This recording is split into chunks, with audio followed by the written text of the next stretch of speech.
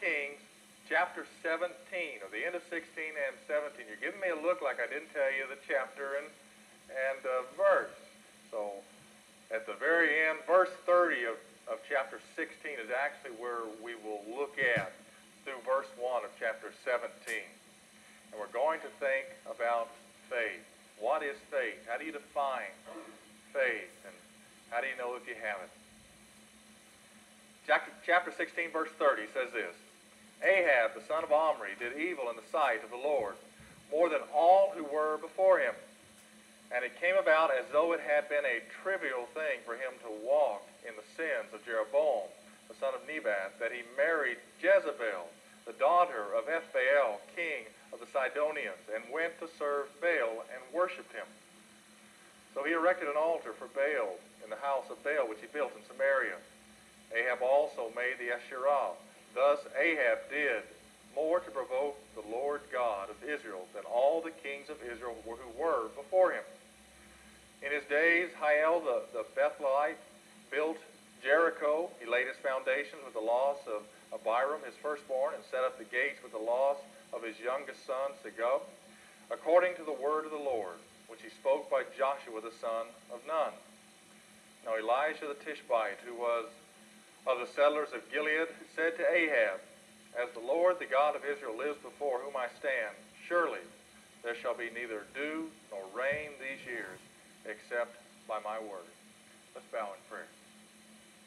Father, we pray tonight that you would guide us through your word, that you'd help us to establish an understanding of what faith is, what the substance of faith is, who the object of faith is. I pray that you would help us to, to know how to apply faith in our own lives. And again, we thank you that uh, we, we trust tonight that you will, will not let your word return empty, but you will speak to each heart that is gathered here tonight. In Christ's precious name I pray. Amen. All right, what do you think faith is? How would you define faith? We've got uh, faith as a substance of things hoped for, the conviction of things not seen. We find that in the book of Hebrews. But as we begin to look at lives that we find in Scripture, how do I begin to have faith myself, what is faith supposed to do for me? One little boy was asked about faith in Sunday school, and he said this. He says it's believing real hard in something you know isn't true. Now that, there's nothing farther away from faith than that. But many adults would say that faith is believing something that can't be proven. And that is not faith at all. Faith is something that is a confidence in someone or something that has been proven reliable. The more you know about the character or the background, the reliability of something, the more faith you can place on that thing. Faith is a confidence in someone or something that has been proven reliable. Now, when I learned to drive, my father allowed me, we had 10 acres that were behind our house, and my brother and I, my father would take all different things in as land payments. He took horse, a horse one time. He took a pig that I fell in love with one time, and he barbecued the pig.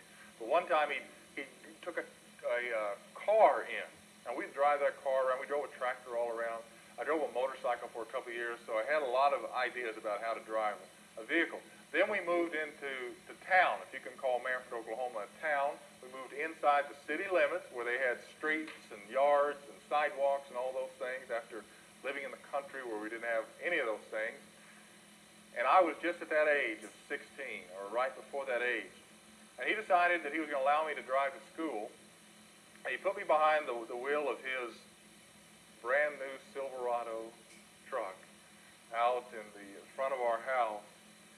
And he, he figured that I had it all figured out, but I've been riding a motorcycle for years, and motorcycles you have your clutch and everything. And I, I looked down in there and I saw a couple of pedals, and I thought, well, maybe one of these is uh, the clutch. All the old cars he got us had clutches in them. And I had never driven a, an automatic of any sort. And so he got me in there, and and I just knew that I needed to get it into gear quick before it died on me. I needed to hit the clutch quick and uh, hit the gas quick. And so he put me behind the wheel. He said, "Okay, let's let's go to school." It's at eight o'clock in the morning. Had his coffee there and everything. Uh, we were ready to go, and so I grabbed that gear shift and said, okay, ready? Okay. I went to, to drive, and then I hit the clutch, which was the brake, so we went like that, and I thought, well, I better hit the gas real quick, and I hit the gas, and we went, we took off, and he, uh, all I grew up was gas pedal, but he must have grown up with foot feed. So he was screaming, spilling coffee, yelling at me, get off the foot feed, get off the foot feed, get off the foot feed. And I did not know what that was to get off of it. All I could do at that point was try to maneuver with the curve that was, was coming up on us very quickly. But you know, my dad had no faith in me at all after that. He, he stopped us and he said, maybe you're not ready. Maybe you're not ready. Maybe you're not ready. I said, Dad, I think I can handle it. Just, just show me how this works down here. I think I can handle it. But he allowed me to drive that truck in the ensuing months all around the deserted streets of, of Mannford. It was one of those towns that rolled up at, at probably 8 or 9 o'clock at night. So for about an hour or so at night, I'd get to go out on the, the streets and drive the, with that. When I had a licensed driver next to me, it happened to be my friend that was, you know, he was less responsible than I was. But we were out there driving these streets of Mannford, learning to do it better and better. We never saw any other traffic at all. But after a while, he had faith in me that I could drive. And by the time I got to be a young adult, it didn't bother him at all. Even after a couple of accidents, it didn't bother him at all to sit in that seat next to me and to trust me to drive. And faith is like that. Faith is confidence in the reliability, the character of that which you're placing your faith in. Faith is not blind. Faith is confidence that is grounded in reality. It is based upon, it rests upon actually the proven character and performance, and that is especially true with God.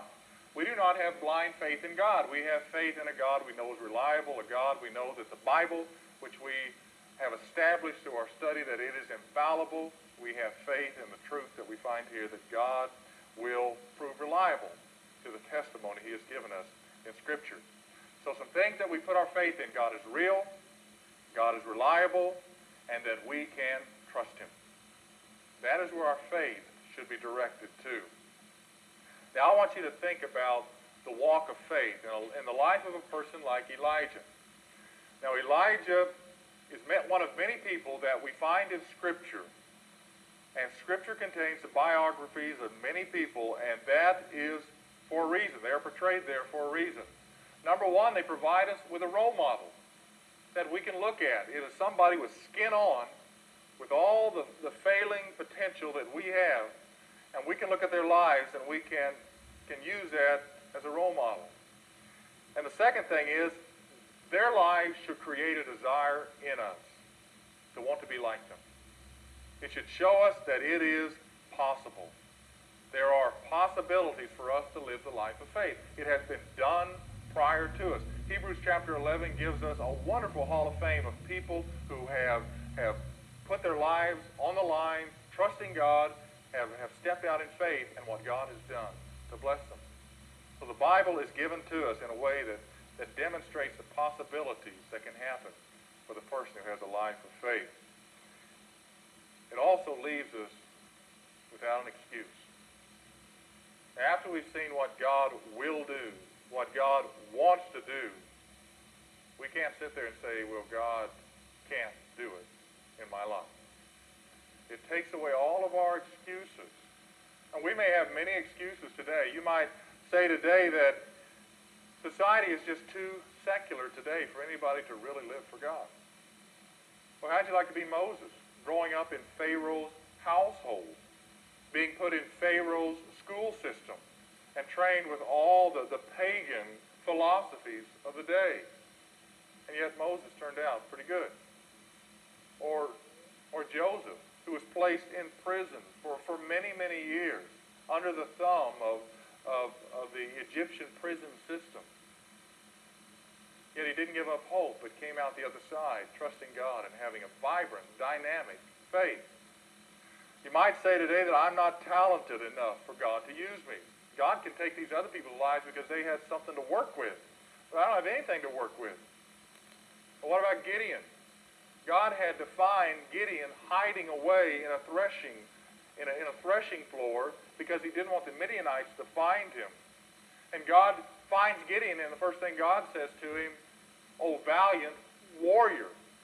That's the last thing he looked like. And yet God called him by what he was going to be. When we get up to heaven, it's going to be a shame if we show up at our locker and our locker says something like valiant warrior. And we, we think back at our life and think, man, I was anything but that. Yeah, but that's what God designed you to be. That's what God wanted you to be. That's what God put within you the potential to be if you would have ever just trusted him. I hope my name when I get done with this life matches what it shows on my locker, that I have lived up to the fullness of my potential. And you won't do that unless you live by faith in this world. Maybe you said, like many people might, that you've already blown it. There's no second chance. Well, tell that to Jonah. There's no second chances. Tell that to David, that there's no second chances. There are second chances, and a, and a God of grace who gave us a first chance is a God of grace who will give us a second chance as well. Well, we find Elijah here. Elijah the Tishbite, as verse 17 describes him,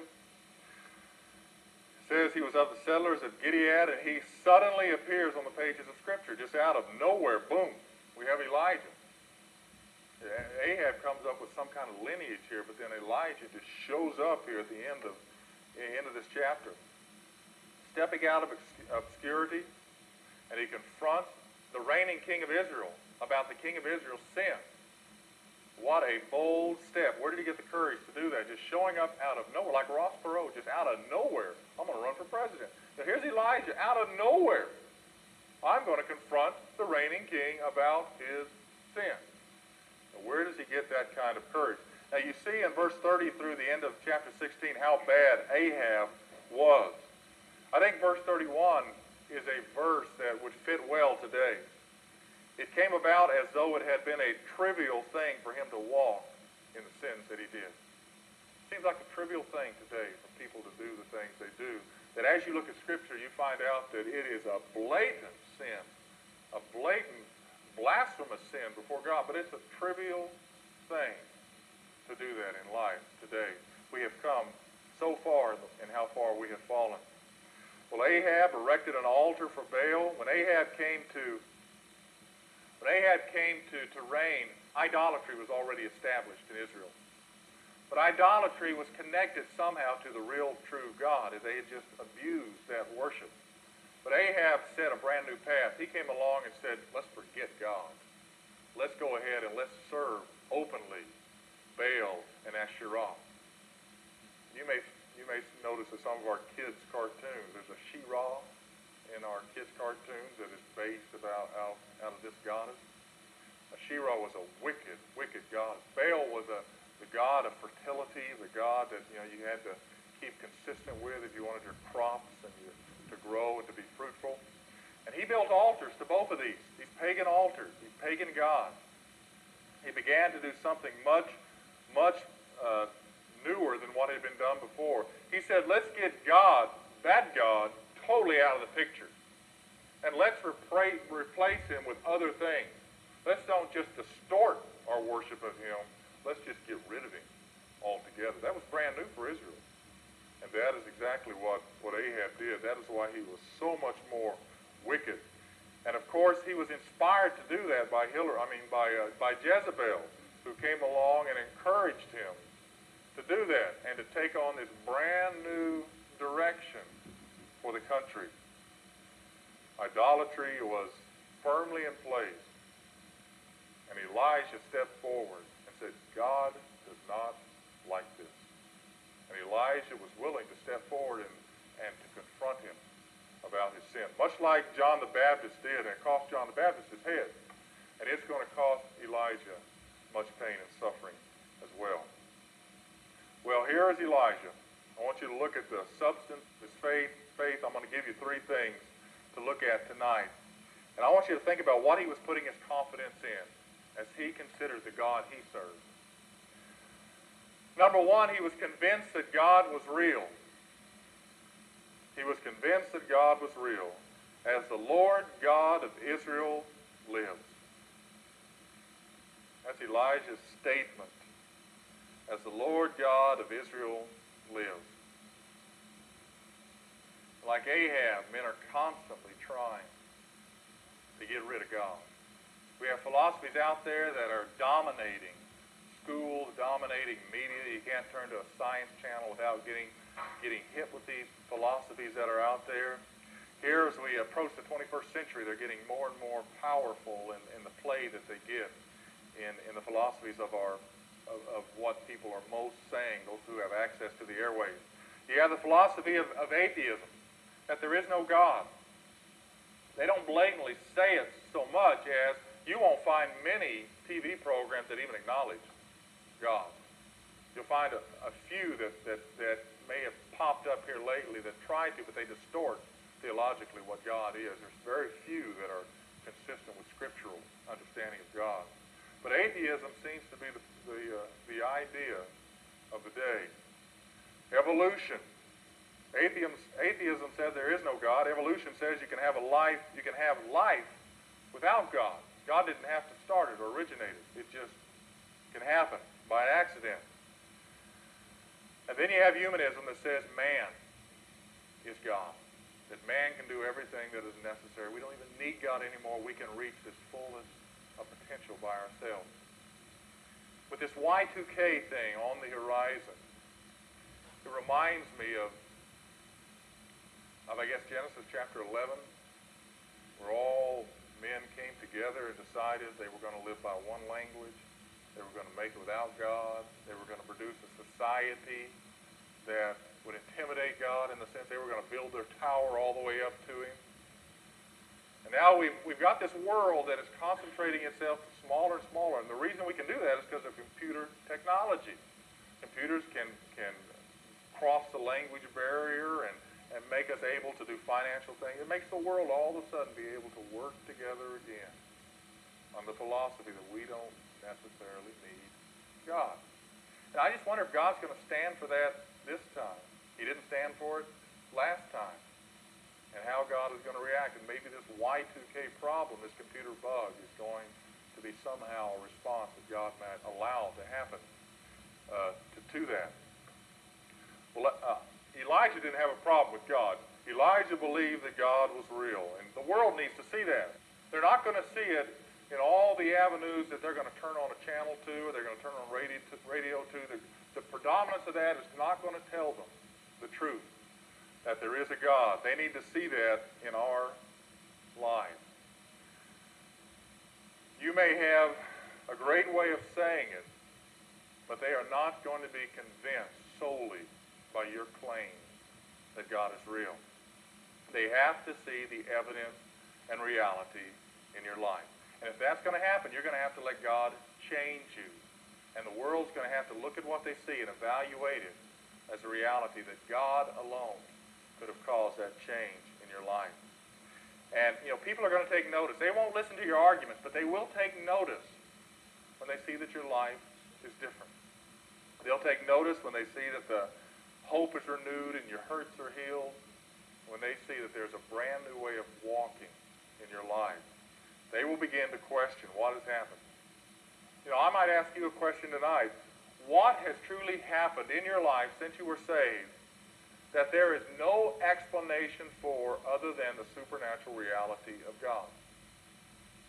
What can you point to in your life? You know, you got to have those things in your life if you're going to really impact the world. Now, there are people that know me before God got a hold of my life that question whether I would ever be able to stand before a crowd and tell people about anything. They, it would be impossible. But then God gets a hold of a life and God begins to use the potential that he placed in there that we have been neglecting and, and putting down all these years. God begins to show himself real by making that miracle happen. What have you got in your life that, that is unquestionably something that can only be explained by a supernatural God? You might say, I believe in God. Big deal. Take a, take a poll. 95% of Americans, if you ask them the right way, will probably answer that the same way. You might also say that that maybe I can point to a miracle. Know, there, there are Catholics that are pointing to, to this, uh, Mary was here, Mary was there, or there's a picture that's crying. We're told in one account where Lazarus and the rich man both went to, uh, to, to a place where there was a gulf right between them. And the one, the rich man begged to go back and to tell his brothers. And the answer that came to him was, if they believe the law and the prophets, they will not believe if someone rises from the dead. Maybe if Jesus came to church next week and turned water into wine, maybe everybody in Hannibal would believe then. That is not the greatest evidence that they can see. Miracles can be can be duplicated by Satan in many ways to fool people. And he will do that with signs and wonders in the end times to draw many people after him. That is not the substance of faith. The substance of faith is how it is being an impact in your life in a way that people cannot deny it as they see the change that has happened. Do you have that, a deep, lasting, unchangeable evidence in your life? Are you beginning to forgive people like Jesus forgave people? Are you beginning to love people like Jesus loved people? Do you find out that your temper has been tamed? Do you find out that your, your gossiping tongue is no longer doing the destruction that it used to do? Now, there's a wicked rumor going around the church. That is the rumor that I've got my seventh child on the way. Now, I've heard that rumor six times before. But this time, it ain't true. At least it hadn't been told to me yet. That is, that is only a rumor. Has a, has a change become apparent in your life? C.T. Studd's father came to Christ under D.L. Moody's ministry. He was a brand new person. He, he changed everything about himself. Very wealthy person, but he began to be a person who gave away to all these different causes and was very active in his church. And he was attending a meeting once for for uh, D.L. Moody, and he, his uh, his horseman, the man who, who watched over all of his, his horse and got it ready and prepared, and who saw him on a daily basis, was asked, "Is it really true what has happened to Mr. Studd? The, the change that has gone on in his life, and you know what's happened to him?" And in a simple answer, the horseman said, "You know, the the skin is the same." but there's a new man inside. You know, your skin, my skin's the same thing it was all my life. I, I know the skin changes every seven years, the cells or whatever, but the skin is basically the same. But God put a new person inside. And when God saves us, the Bible describes that as a new creation. And God puts someone brand new inside this skin that everybody's been looking at all your life. But God changes who you are. You no longer think the same. You no longer have the same desires and goals. All of a sudden, you have things that mean more to you that you, you didn't even think about before. God does that in a person's life and makes a radical, supernatural change. The second thing we find, not only that God was real, but Elijah was convinced that he would give an account of his life before God. He was convinced there would come a day of judgment, and he would have to give an account of his life before God. Says, As the Lord, the God of Israel, lives, before whom I stand. Do you know you stand before God tonight? For every action that you've done today, you're going to stand responsible and accountable before God for the decisions and choices you make tomorrow and how you carry them out. Do you have a sense of responsibility about that? Elijah came in. The very fact that he was standing before this, this reigning monarch and saying what he was saying showed that he had a tremendous sense of responsibility to what God had called him to do. Can God place that upon you, that burden, and you can be willing to go anywhere at any cost and say or do what God has called you to do? Elijah knew that if he did not obey God, confront Ahab, that he would stand accountable for eternity. He would have to answer for his unwillingness to stand against this pro-Baal movement that was going on, that was on the, on the rise. He didn't have the opportunity to be a silent protester. He could not remain uninvolved and hope that somebody else would do it instead of him. What answer do you think that you might stand accountable for, have to answer for, as you enter into eternity? And God says, in your generation, this was a problem. This was something that broke my heart. What did you do in obedience to me to confront that concern, that situation? Can you think of anything that you might have to answer for? You know, Elijah wasn't going to let that happen. And because he had faith, because he knew he was accountable and responsible, he had the courage to act in faith. And when you have courage to act in faith, you'll find that you're unintimidated by the odds. Unintimidated by the odds. And you're willing to stand alone. You'll find that you're unafraid of opposition.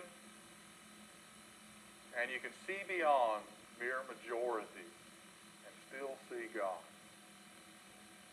If you have the eyes of faith, those things don't affect you because God is bigger than any majority that might threaten you because of any activity you might do.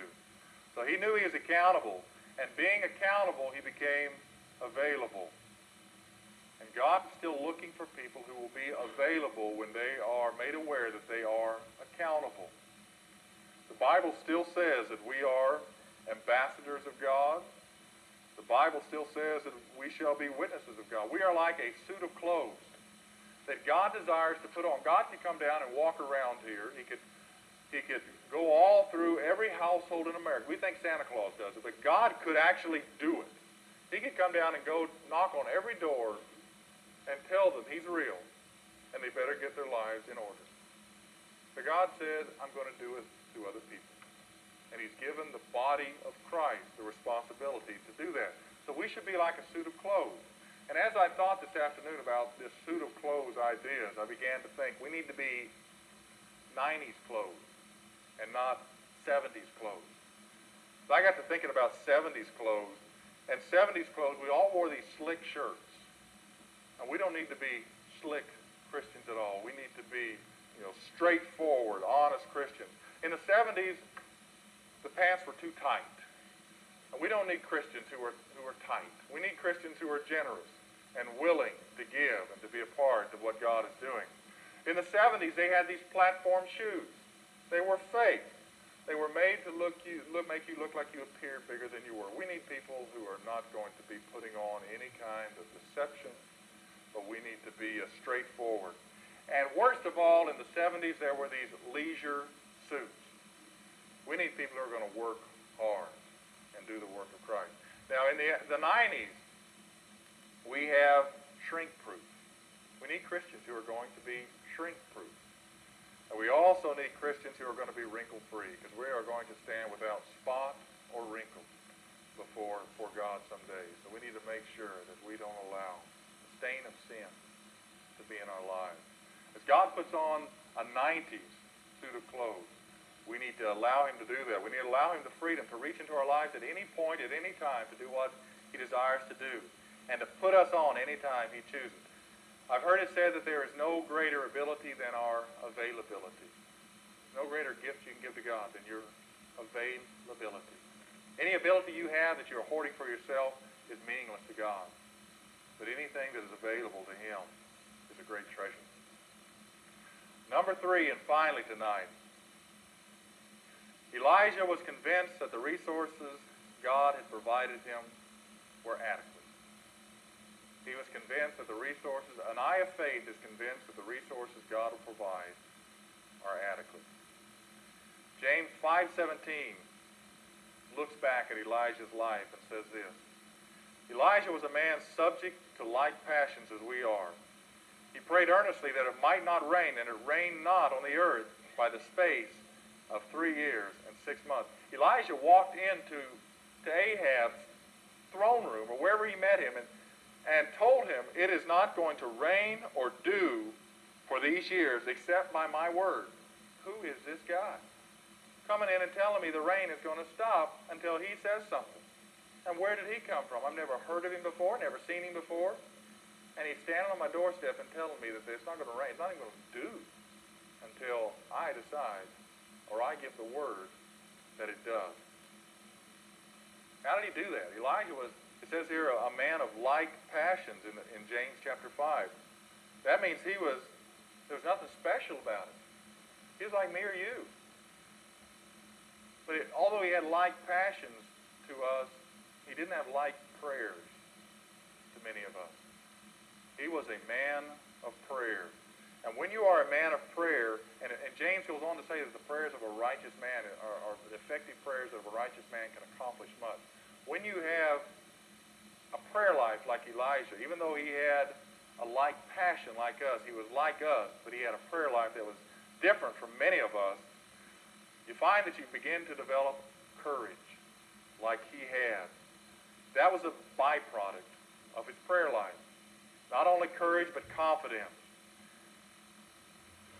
He was able to exhibit the confidence because he had absolute confidence in the Word of God, and he carried that confidence from his prayer life into his willingness to confront somebody even like Ahab. Deuteronomy chapter 11, verse 16 and 17 warns us and says, Take heed to yourselves that your hearts be not deceived, and ye turn aside and serve other gods and worship them. And then the Lord's wrath will be kindled against you, and he shut up the heavens that there be no rain. God's wrath was kindled against Ahab. Ahab had done beyond what anybody else had done. And I think America is beyond where we've ever been before. And God's wrath is kindled hotter today than it's ever been before against America. It is just whether we're at the boiling point, whether we're at the point where God is going to react to that. When you think of the word God's wrath, that word for wrath means his nostrils are flared. And if you ever get an animal that its nostrils are flared, it's taking in enough oxygen to get those muscles ready and tuned to react, then you have wrath just about to happen. And God's wrath was kindled against Israel, and he shut up the heavens against them. And that is what he said he was going to do because of Ahab as well. And it's interesting to note that everybody in Israel was going to suffer because their leader had taken a certain direction and imposed that upon the nation, and the nation had allowed it to happen. Elijah had faith, number one, because he knew what God had said. Number two, because he believed God would do what God had said. And number three, because he acted. He confronted Ahab with what God had warned him to confront him about. That is what faith boils down to in a simple definition. It is knowing what God has said, believing what God has said, that it will come true, and then acting upon it, no matter what the cost may be. Elijah didn't have anything available to him that we don't have available to us today. He had the Word of God. He had prayer. We've got the Word of God in even a fuller sense. But he also had faith to believe God to take God at his word. He was convinced that God was real. He was convinced that he would give an account to God for his life. And he was convinced that the resources God would provide for him would be adequate enough for the need of his life. That is pretty much where faith begins and ends. It is not a complicated equation. We don't need Einstein to come and explain faith to us. It's really very simple. The hard part about faith is exercising it.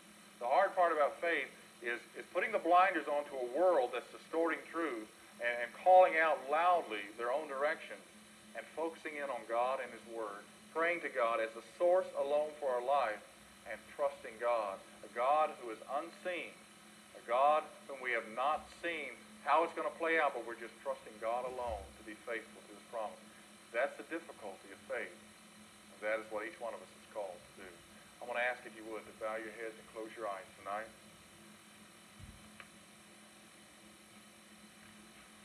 Darren's going to come and lead us in a hymn of invitation. I'm going to ask you tonight, is, is there any issue in your life that stands between you and God? If you're not a Christian tonight, that is a major issue. If you cannot confidently say that I know Jesus Christ is my Lord and Savior, then tonight you can do that as you leave. You'll simply come forward and take my hand or Gary's hand. We can lead you in a prayer. A prayer that is all that God asks if it's genuinely what's coming out of your heart. Tonight you may have other needs that you need to deal with. You may want to come and just kneel at the altar, kneel on the, up against the front pew and pray about an issue. You might want to invite others to come and to pray with you. Just share with me what that need is or what you would like to have happen, and I'll ask other people to come and to spend time in prayer with you. Tonight you might want to, to join Emmanuel as a, a new church home where God can use you. Whatever your need is tonight, this is the time that we have set aside for you to make that public and to say yes to Jesus Christ. Father, we do pray in these moments that are ahead that you would control our hearts. We pray that you would direct our thoughts and remove every distraction. Help us to focus in on your will and upon Jesus Christ and the things that would give him glory in our lives. Help us to ask the hard questions and be willing to make the difficult choices. Again, we thank you for the opportunities of faith that you present before us an open door. That if